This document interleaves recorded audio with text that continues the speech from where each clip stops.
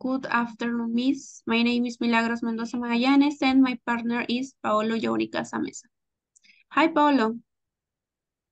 Hello, Milagros. What plans do you have for next year? I will continue with my university studies. I will definitely study English. Uh, I will to go English classes and I will probably get a job. Interesting. I will probably study computer science in, in the summer. I will go to an institute that teaches Excel. And I will, I will definitely get a job.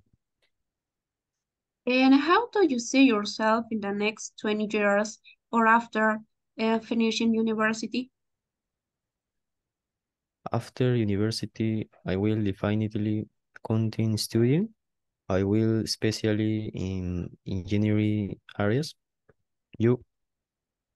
Uh, likewise, uh, you will look for internships and professional practice. How do you see your relationship with your family in a few years? I definitely won't continue living with my parents.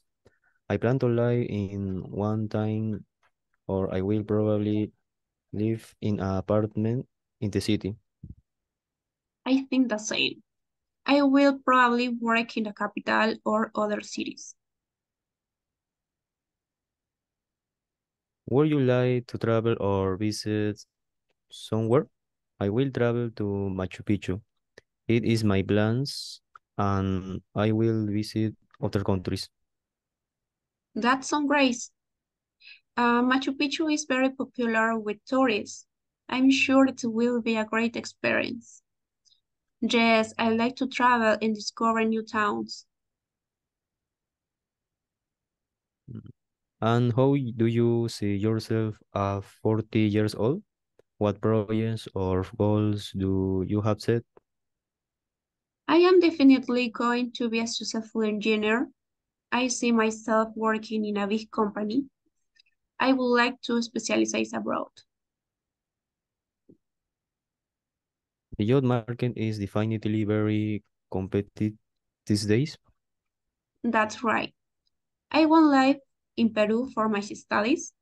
Whatever, I hope to um, always maintain a good relationship with my family. Is there a country you would like to visit? Yes, Finland.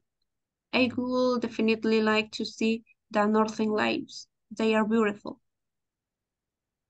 Of course, I have sent them in images too.